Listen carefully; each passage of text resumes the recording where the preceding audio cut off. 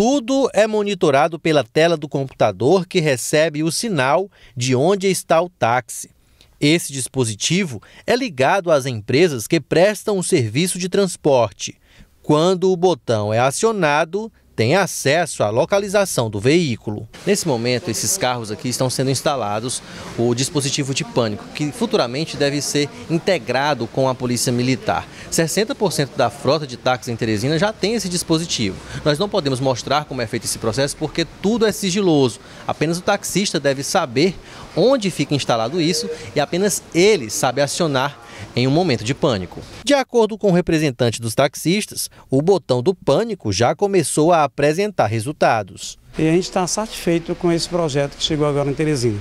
Quer dizer, além disso, nós temos reuniões com o comandante-geral e ele nos prometeu, logo, logo agora, já vai esse botão do pânico acionado direto no, no Copom. Quer dizer, isso já vai dar mais segurança para o taxista, porque no momento que ele acionar, a, a, Polícia Militar sabe em tempo real o local onde esse táxi está. Então já enviará uma viatura para aquele local. Quer dizer, isso para nós é, é uma satisfação, que a gente quer primeiro que a polícia chegue, e não os taxistas, né? Esse ano foi registrado apenas um latrocínio contra taxista, o roubo seguido de morte.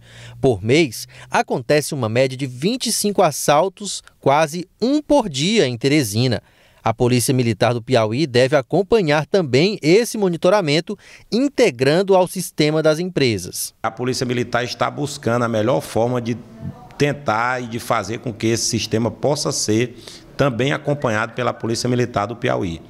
É, tudo aquilo que vier da parte dos taxistas, que for possível ser realizado pela corporação, a Polícia Militar vai ficar à disposição para buscar fazer no sentido de que cada um deles possa exercer o seu labor com tranquilidade e segurança. O aparelho já instalado no veículo custa em média 500 reais.